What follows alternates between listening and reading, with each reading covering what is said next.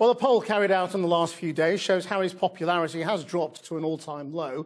The YouGov survey says almost two thirds of people in the UK have a negative view of him. But what about the future of the royal family as a whole? Joining me now are Dr. Tessa Dunlop, historian and author of Elizabeth and Philip, and Kehinde Andrews, Professor of Black Studies at Birmingham City University, who also featured in the Netflix documentary Harry and Meghan. So, is he taking the rest of them down with him? Hopefully.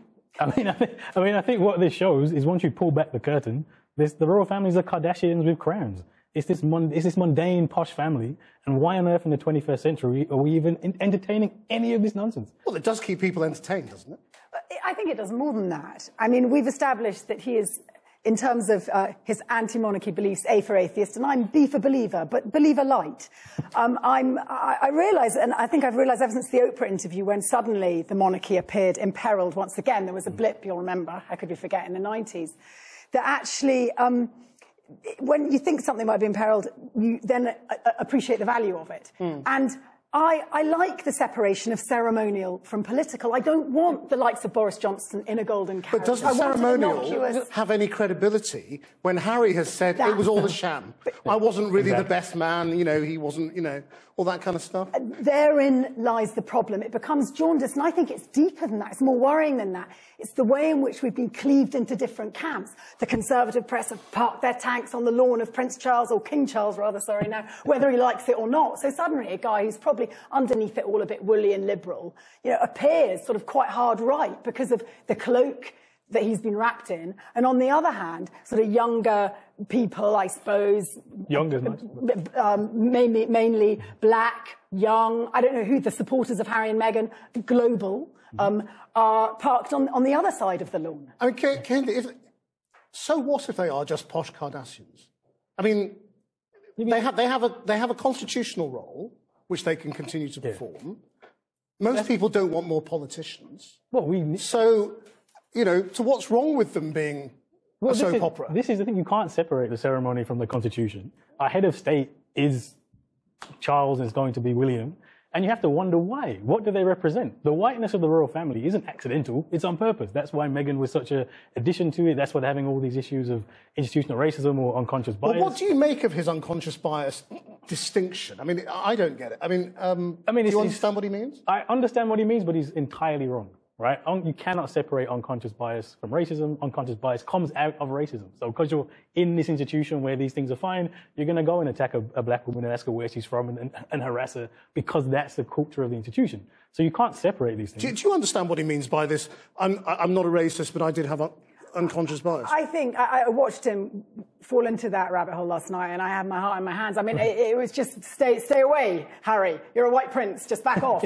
but, but I think I remember Virginia Woolf wrote that we have this insatiable desire uh, to watch the royal family because they live and we live in them. And actually, there is something about this white British family going through the narrative of a black woman marrying into their family, and in, in them we live. I, I'm married to, to, an immigrant. I've had not similar because he's white, he's Romanian, but also difficult conversations around culture. I think huge numbers of Brits now have had conversations, and again, we're living through them. We've had sibling arguments, and so there is an aspect where, and we feel their pain, bereavement. I thought that a large part of last night's documentary was about pain and Harry's yes. pain at losing his mother. So, so then put cameras in the palace, make real housewives of Windsor. Let's make them celebrities. They shouldn't be paid for by taxpayers' money, and they shouldn't have a constitutional role. The emperor has no clothes. This is a, this.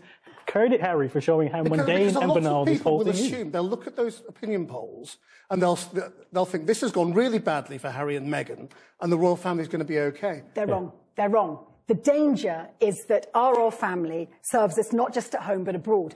He's king, by the way, in 15 rounds, 14 other ones. How's this going down there? He's head of the Commonwealth. And so the, the problem is, yeah, maybe they've bunkered up, shored up a right conservative support, which is always there for them anyway. But actually, as a weapon for us overseas, soft oh. power, we're damaged. Are we, are we, are we, literally, let's just go back to the emperor. We have the empire, weapons overseas, these 15 who should not possibly so have the queen and the king of the head of state. That's their decision. This will accelerate moves towards republics in oh certainly. I think if you look Commonwealth. at, if you look at what's happened Caribbean Australia you know. Yeah I think the death of the Queen certainly. I think if you look at all this drama if you look at the just how out of touch William and Kate are I think if you look in the Caribbean, if you look at places like that, they are saying, why, why on earth would these represent us? And they don't. And I think he's right. Should have, the Commonwealth should have gone a long time ago. That's just the form of Well, I, I, dis- I disagree there. I think people conflating the Empire of the Commonwealth, understandably, because one handed to the other, but it is a, a voluntary collection of countries. It's away from the hoof of America. It's somewhere where we could have soft power and influence. It is a talking shop, and one that Britain. We, we? we're in Britain. I live in Britain. I know. I, I would say I speak for a, a millions of people in this country, particularly black and brown people, who that family represents nothing but racism. But what about and should the have been gone a Commonwealth long time. talk- And Commonwealth the same. I a way think in which of having connection with countries that are otherwise disparate, What- something that isn't NATO or the UN with America this- at the helm. it's the British Empire. Why would that be better than not the NATO? British of course it Empire. is. What was it? It came out of the British Empire. It is a Do you relic think, of I mean, as a monarchist light, Yeah. they can survive this without addressing it? no, they need to address it. They need to come out and say something, do an interview. I mean, what do they the olden days, it was stum. You know, don't say anything. Whether it was your, your, the nanny, she was, you know, persona non grata for the rest of her life, or indeed the Duke of Windsor. But I think now you can't look that unfeeling, especially not because they need to hook in younger generations eventually when these younger generations grow up. I think they're going to have to invite to the coronation. I think there will have to be some sort of sop. Harry, Harry gave it to them on a plate last night. Some little job that he could do for Charles in, in, in, in ideally overseas because we need to keep him away from the conservative press. Harry's got a, a real allergy. I mean, he comes out in hives around our, our, our tabloid press. But it I- doesn't work, that.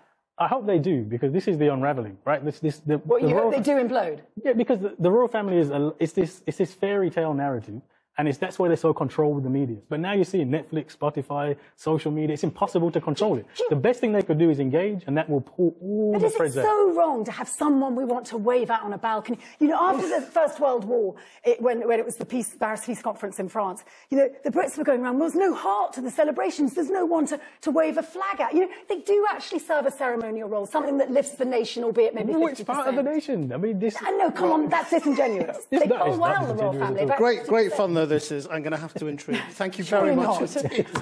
Tessa Dunlop and Gavin Andrews, thanks very much for your time.